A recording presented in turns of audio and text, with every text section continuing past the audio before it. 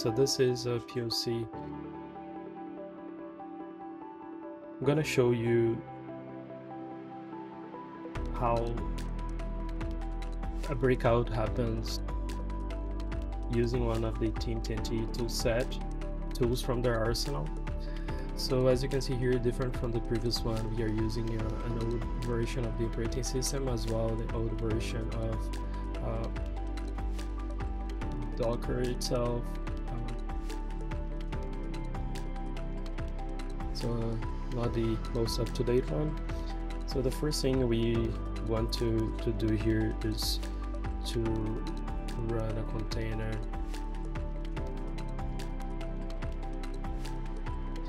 and share from the host to inside of the container a um, sample, um, let's call it a malware from Team TNT.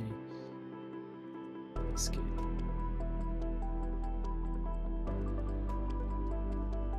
Use uh, lightweight base image here. So the first thing we want to do is to make sure we have uh, the privileged flagger set up on one container and not on the other one.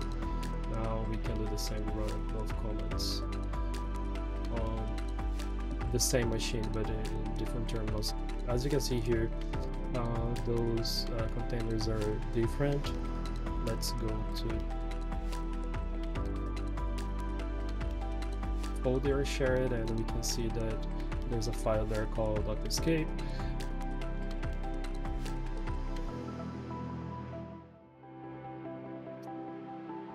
as you can see this is a tool to escape docker it's an open source tool and so there are some different uh, parameters here including parameters that doesn't rely on being privileged or not they uh, exploit a real vulnerability. That's not we are going to see today, but basically it has the automatic uh, escape as it calls using parameter auto. It, it go crazy and try every possible technique it has on its own.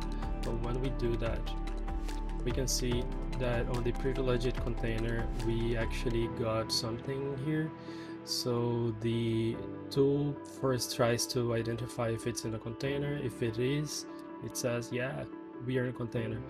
And steps are pretty similar. Uh, process are similar on both containers, but one we got nothing, and on the other one, we actually uh, got lucky here. So, for example, if we we check the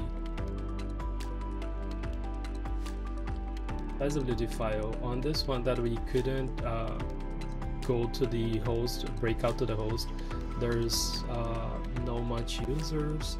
And most important there's no user called POC that does, that's the host user I'm using here.